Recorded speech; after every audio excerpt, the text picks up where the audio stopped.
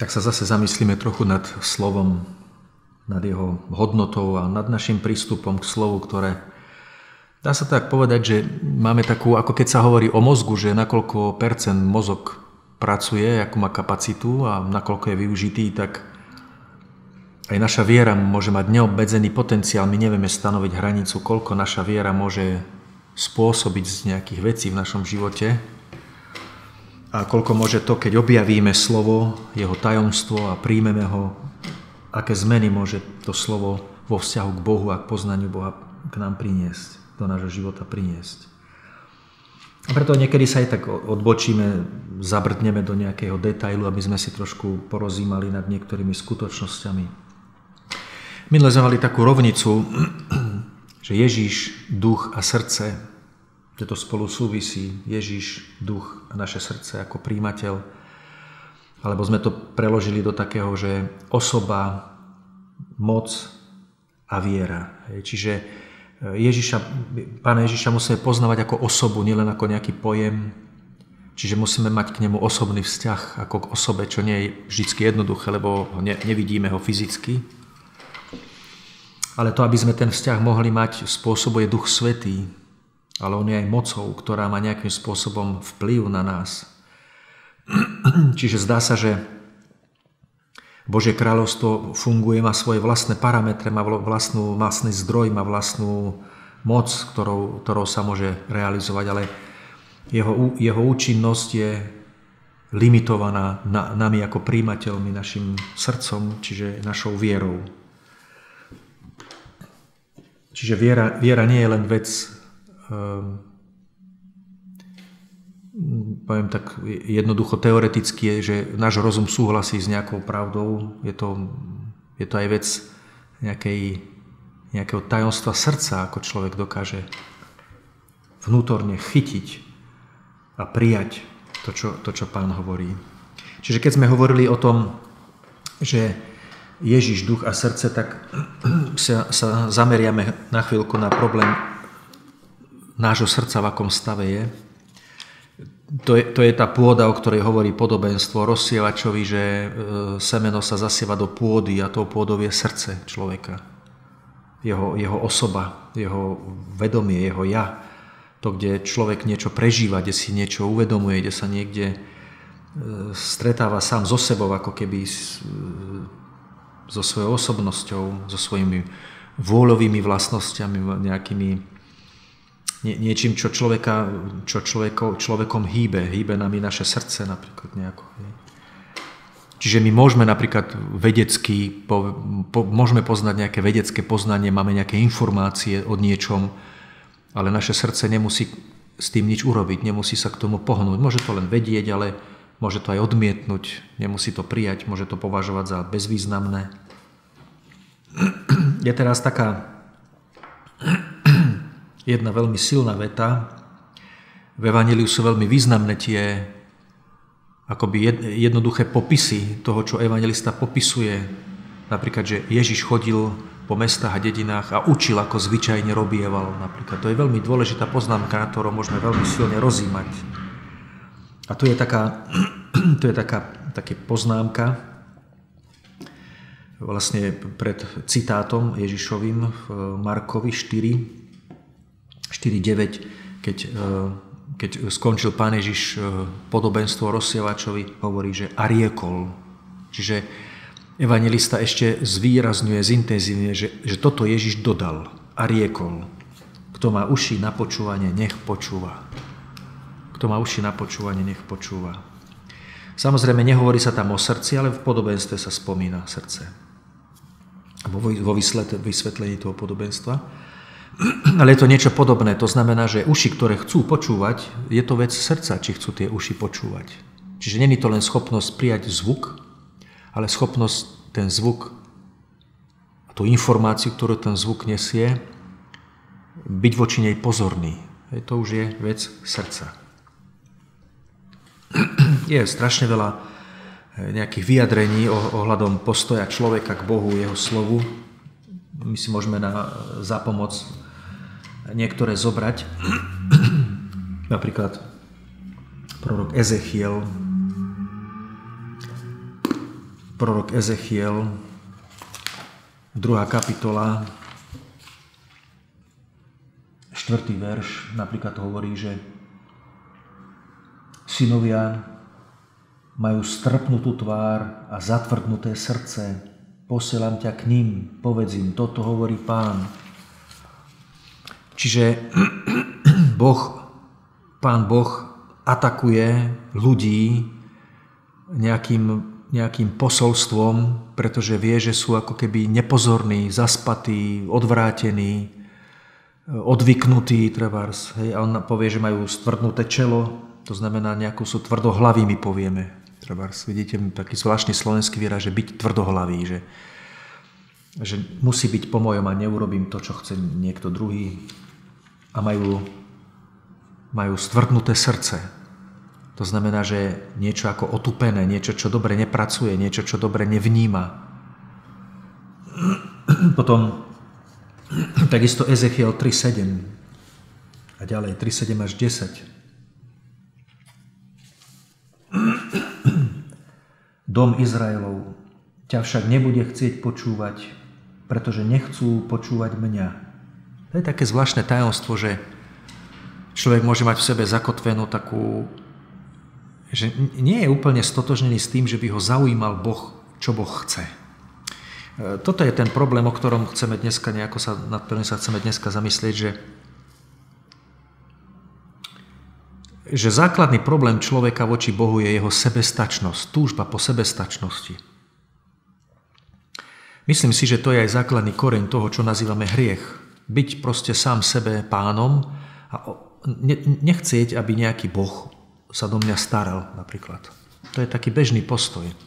Myslím si, že že u niektorých ľudí, kým sa, kým sa nestretnú s pravdou o Bohu nejakým spôsobom, buď cez nejaké udalosti, cez nejaké slovo, nejaké svedectvo, niečo, čo ich otrasie o tom, aký je Boh, tak toto ani nechcú zmeniť.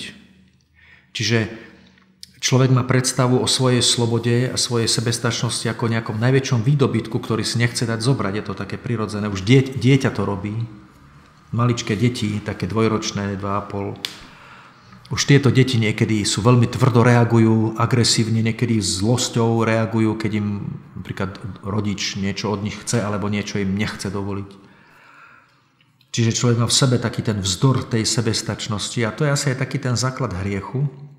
Nechcem teraz hovoriť o hriechu, len to, že niekde tam v knihe Genesis stojí, keď prišiel had a hovorí človeku, že varí, toto ti Boh povedal a nechce náhodou, že by si sa nedozvedel niektoré veci a nebol potom ako Boh a sám nerozhodoval o tom. Nechce ťa Boh len udržať ako hlúpeho, by sme mohli povedať, ktorému bude rozkazovať a nechce, aby si sám rozhodol o tom, čo je dobré a zlé. A človek zrazu zaváhal, že fakt. Hej, to je taký, taký, taký ten postoj, postoj hriech. Pamätám si, pozeral som raz veľmi, veľmi dobrý film. Ne, neviem, či mám povedať, aby som zase nehovoril o nejakom človeku, aby som ho neohovoril. No, dobre, tak bol to film Misia. Jeremy Irons hral e, misionára. Videl som to v 90. roku v kine v Rožňave. Vtedy v, moje, v mojom zápale viery som obdivoval tú osobu v tom filme, toho, toho pátra jezuitu, ktorého hral Jeremy Irons, bol, bol strašne presvedčivý až do tej miery, ako keby som sa s ním stotožnil, že ma fascinovala tá jeho, ten jeho postoj aj oddanosti, viery, odvahy, spravodlivosti. Bolo na ňom vidieť, ako by bol s tým stotožnený. Som potom rozmýšľal, že ako takí herci, do, dobrí herci, určite dobrí herci sú predovšetkým divadelní herci, no, takí dobrí herci, ktorí sú skutočne lebo dobre môže zahrať aj slabší herec alebo amatér, možno keď vie režisér, strihač, kameraman dobre s ním pracovať, vo filme napríklad, ale v divadle sa to nedá. V divadle musí ten herec mať skutočné kvality. Jeremy Irons je vynikajúci herec.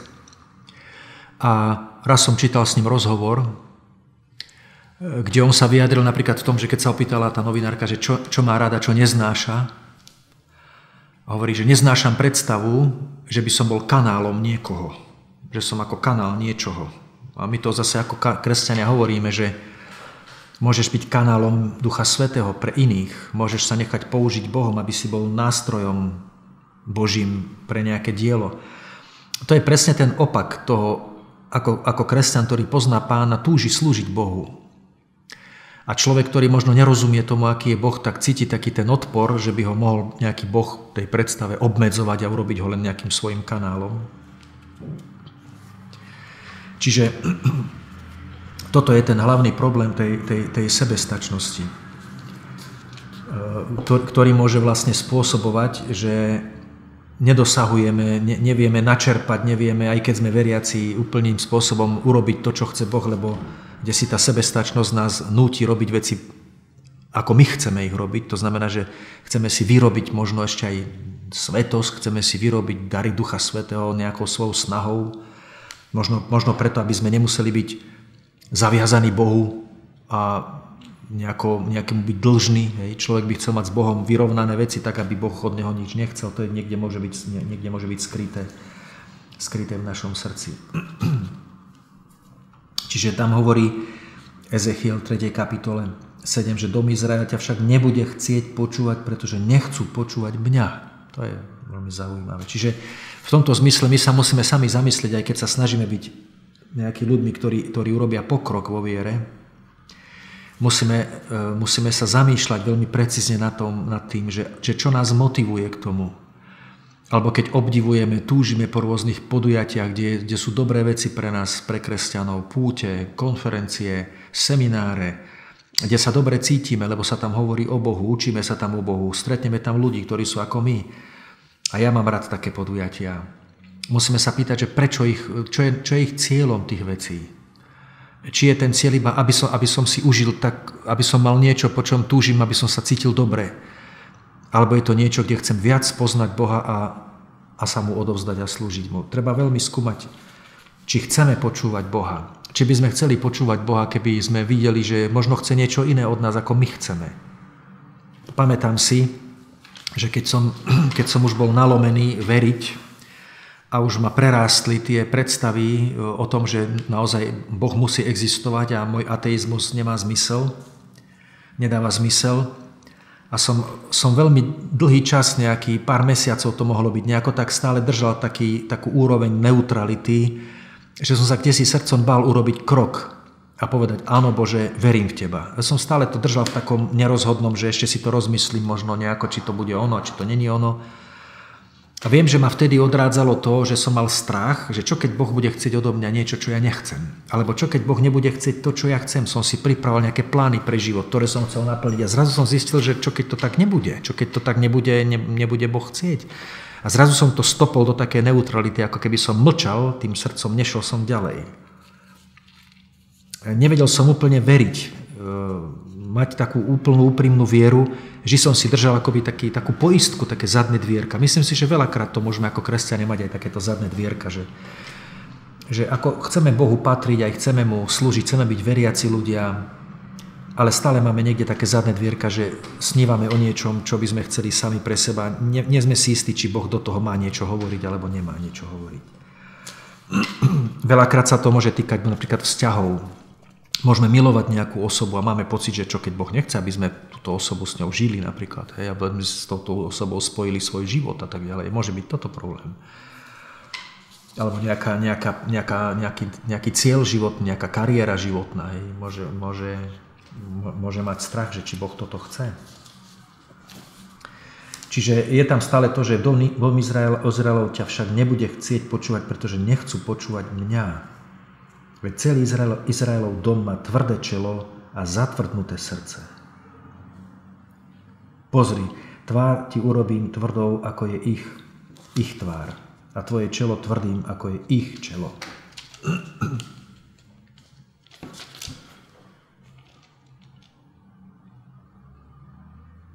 Potom ďalej hovorí v 10. verši, i riekol, i riekol mi, syn človeka, všetky reči, ktoré budem k tebe hovoriť, príjmi do srdca a svojim duchom ich počúvaj.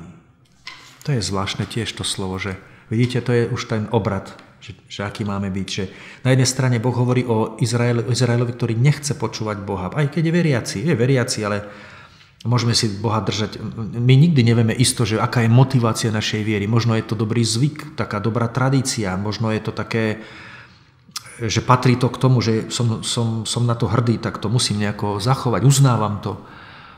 Veľa môže byť takých skrytých tajností, že či naozaj Boha počúvame alebo chceme počúvať. A zvláštne potom povie, ešte raz to zopakujem to slovo, že riekol mi syn človeka všetky reči, ktoré budem k tebe hovoriť.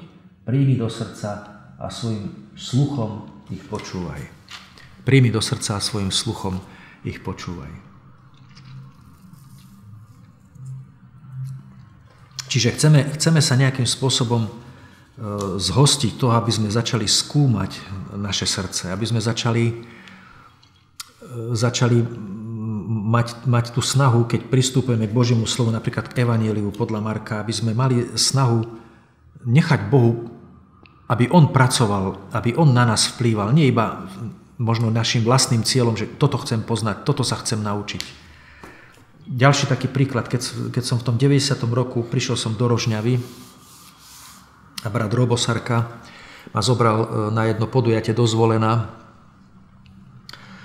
bolo tam také stretnutie, hovorilo sa tam niečo o okultizme, o, o joge, o takýchto rôznych týchto sektách. E, niekto tam predával knižky v češtine, Mm, boli to knižky od Johna Wimbera, Evangelizace Boží moci a Uzdravení Boží moci. To ma strašne zaujalo.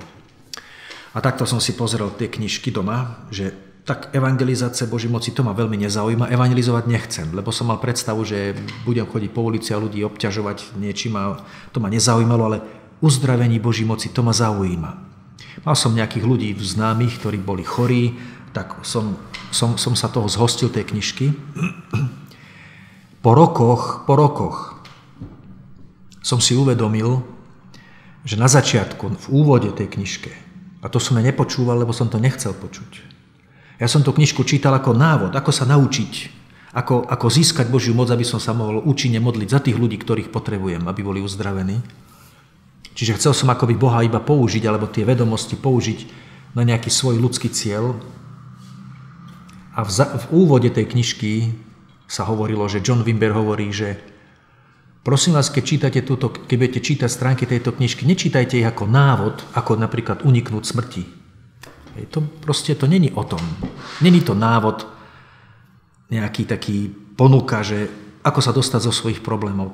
To bolo svedectvo, vyučovanie o poslaní, ktoré ako kresťania máme.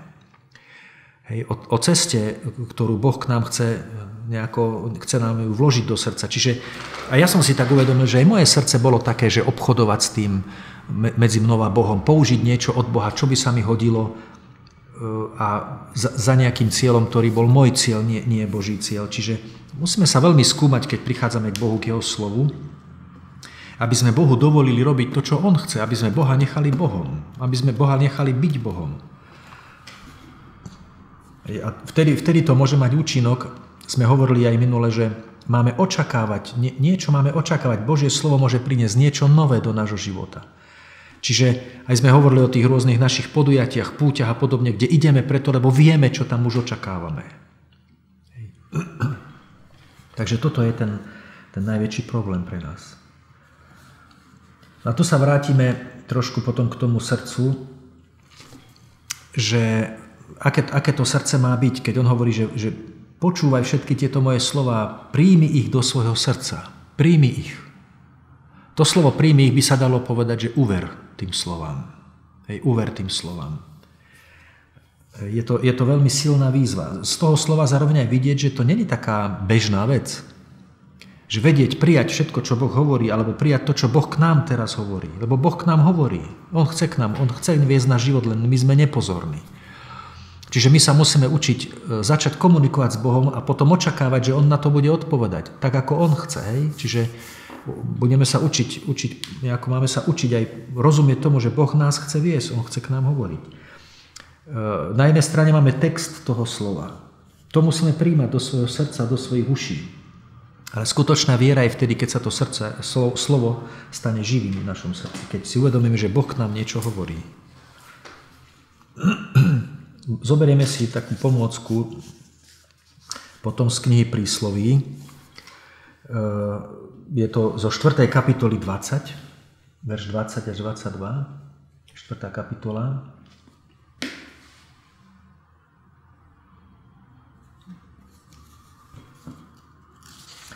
Vnímaj moje slova, syn môj, naklon ucho k mojim výrokom.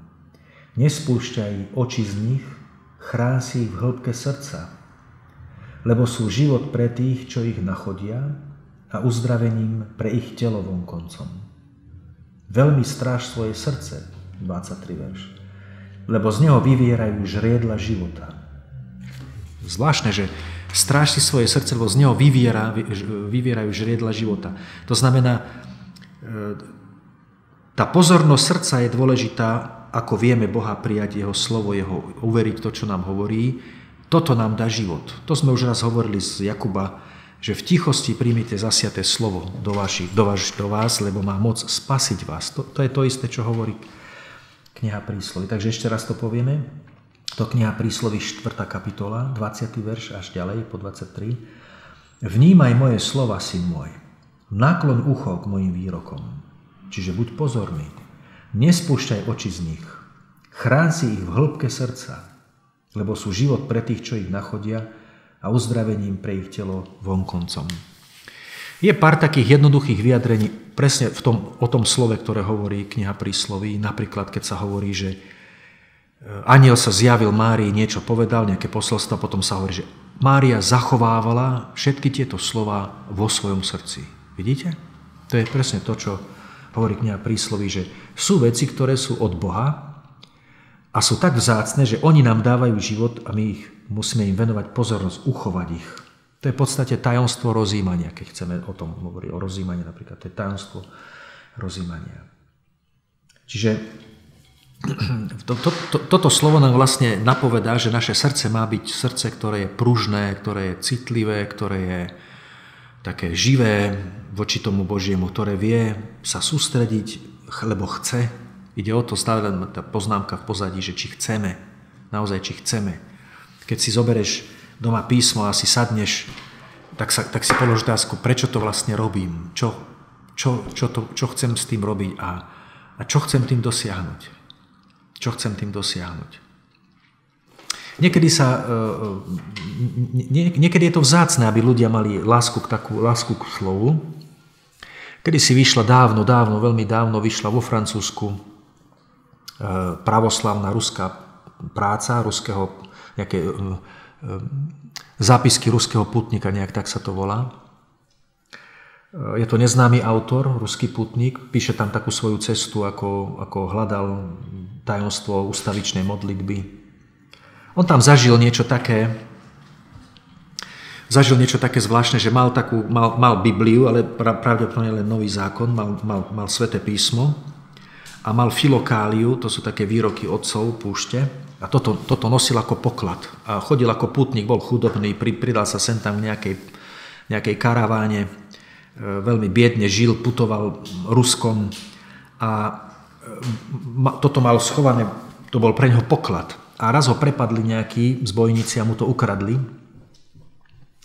A on potom stretol nejakú karavánu nejakých vojakov alebo policajtov, neviem, vojakov takých cárskych ešte, ktorí viedli v tej karaváne aj tých dvoch, dvoch ľudí, ktorých zatkli, ich našli niekde a mali, ukradnuté tie knihy. A jemu sa vrátila tá filokália aj tá, tá Biblia. A potom si všimol, keď e, rozbalili tábor večer, že ten kapitán, ktorý viedol tú, tú výpravu, si vybral pri ohni písmo a začal si z neho čítať, čo bolo veľmi zvláštne, lebo takí ruskí kapitáni vtedy väčšinou boli takí, že píli a tak, ne, ne, nezaujímali ich asi Božie slovo.